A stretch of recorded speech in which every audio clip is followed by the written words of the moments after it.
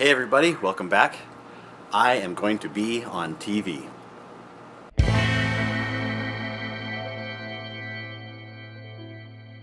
Yeah, so uh, tomorrow morning, KGW, that's the, the NBC affiliate here in Portland, is going to be featuring the Festival of Flowers that's in Portland right now uh, on their morning news segment. Uh, this year's theme of the Festival of Flowers is Bee Friendly Portland. And they wanted to have some beekeepers come and talk about bees and display bees in an observation hive. So they contacted my club and I am going to be spending a few minutes, uh, not very long, but it is live TV uh, and I don't get to make my own edits. there will be no edits. Um, anyway, I'm going to be bringing down this observation hive. I borrowed this hive from a friend. I have, uh, you can't see it in the frame right now, but underneath the hive I have a little nuc box that has some bees in it. I'm going to transfer the bees from the nuc into the observation hive tonight so that tomorrow morning I can just take them and go. This is a pretty cool little nuc observation hive. It just has a five frame nuc box down below and then room for one frame behind the plexiglass up here on top and there's a queen excluder in between the box and the uh, observation window so that you can put the queen on the frame up on top and she won't go down below. It's always fun for people to be able to see the queen because she's not a bee that you see very often and people wonder what queens look like.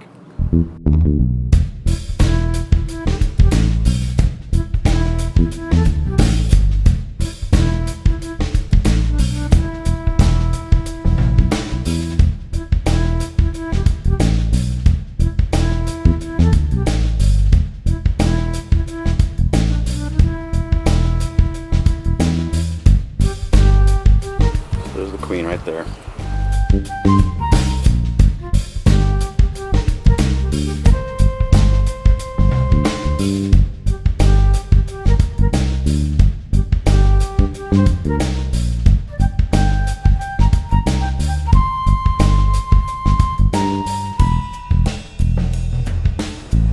I have a black t-shirt I'll use to cover the plexiglass.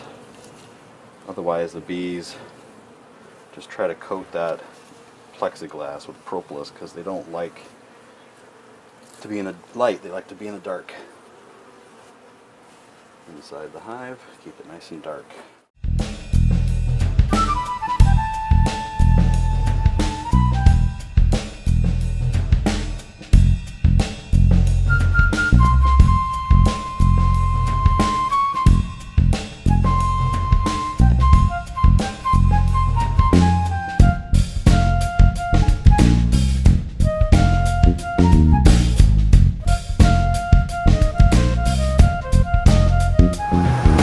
Uh, it's 5.45 in the morning. I'm not used to being awake at this time, but I'm out here at Pioneer Courthouse Square ready to talk to KGW about bees and about Tour de Hives, which is coming up on June 25th and 26th. It's a fun little backyard apiary tour in Portland where you can see beehives and talk to beekeepers. So go to tourdehives.com and you can buy tickets there if you're in Portland or if you're going to be in Portland during that time. This is Pioneer Courthouse Square where they're doing the Festival of Flowers. This year's theme, Be Friendly PDX. And they have the flowers arranged in hexagonal designs. Drew Carney is over there interviewing the architects of the design right now.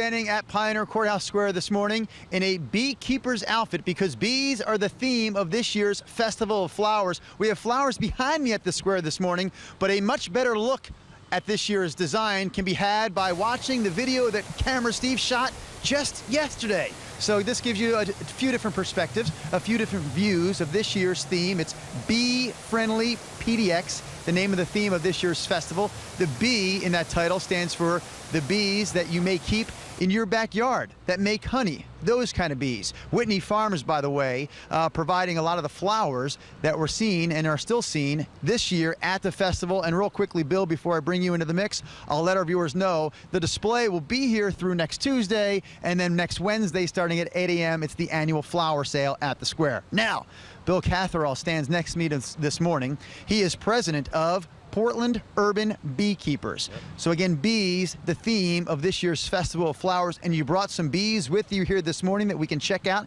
in the observation hive.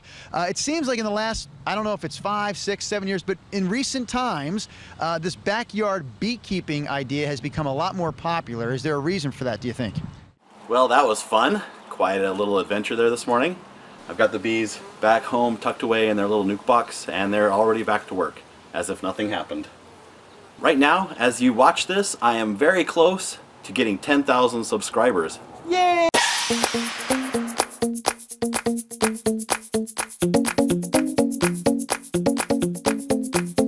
Wow, I never thought that would happen. And I want to thank you, the viewers and subscribers, for making that happen. So thank you.